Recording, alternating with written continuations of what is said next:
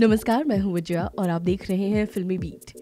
सत्ते पे सत्ता की रीमेक में दीपिका पादुकोण के साथ रोमांस करते नज़र आ सकते हैं ऋतिक रोशन। क्या है सत्ते पे सत्ता से जुड़ी ये बड़ी खबर? आइए आपको बताते हैं। वेल, कुछ वक्त पहले रोहित शेट्टी ने फराह खान के साथ मिलकर अनाउंसमेंट की थी कि वो जल्द ही एक बड़ी बॉलीवुड फ़िल्म बनाने वाले हैं। रोहित शेट्टी इस फ़िल्म को प्रोड्यूस करेंगे, वहीं फराह इस फ़िल्म का डायरेक्शन करेंगी।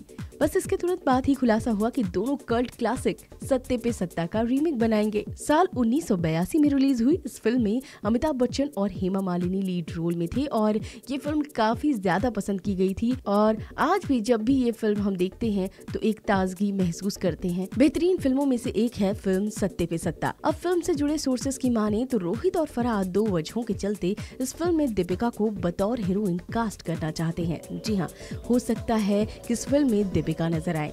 अब इसकी क्या है वजह, ये हम आपको बताते हैं। पहली वजह यह है कि सोर्सेज की माने तो दोनों ही दीपिका को काफ़ी पसंद करते हैं। और दूसरी वजह यह है कि वो इस रोल में फिट बैठ रही हैं। सोर्सेस की माने तो जब दीपिका ने बॉलीवुड में डेब्यू किया था तो हर किसी ने कहा था कि उनमें हेमा मालिनी की झलक दिखाई देती है। इस फ़िल्म के रीमेक में लीड एक्टर के किरदार के लिए शाहरुख खान और अक्षय कुमार जैसे सितारों के नाम सामने आ रहे थे। पर खबरों की माने तो इस फ़िल्म के लिए ऋतिक रोशन को चुना गया है। बात की जाए दीपिका की तो उन्होंने अपनी नई फ़िल्म छपाक की शूटिंग खत्म की है। इस फ़िल्म के लिए उन्होंने काफ़ी मेहनत की है वो इस फ़िल्म में एसिड अटैक सर्वाइवर बनी है।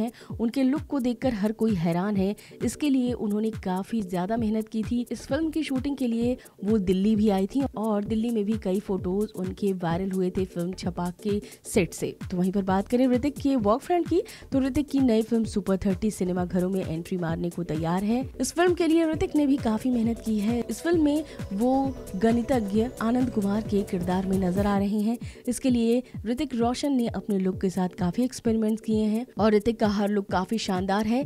वो इस फ़िल्म को प्रमोट करते भी नज़र आ रहे हैं। इसके अलावा ऋतिक ने सोशल मीडिया पर भी फ़िल्म को काफ़ी ज़्यादा प्रमोट किया। इस फ़िल्म के कई पोस्टर्स रिलीज़ हुए, जिसमें ऋतिक बहुत ही शानदार नज़र आ रहे हैं। वेल आपको बता दें, अगर सत्ते पे सत्ता फ़िल्म में दीपिका की एंट्री होती है तो दीपिका इस फ़िल्म के ज़रिए फराह के साथ दूसरी बार काम करती नज़र आएँगी। तो वहीं रोहित शेट्टी के साथ भी वो दूसरी दफ़ा फ़िल्म करेंगी। दीपिका और ऋतिक को फैंस कई साल से फ़िल्मों में देखने की इच्छा जता रहे थे, लेकिन ऐसा मुमकिन नहीं हो पाया था। पर ऐसे में माना जा रहा है कि रोहित और फराह की बदौलत इनके फैंस को ज़बरदस्त तोहफा मिलने वाला है। फ़िलहाल इंतज़ार करते हैं सत्ते पे सत्ता के रीमेक की अगली अपडेट पर। इस वीडियो में बस इतना ही।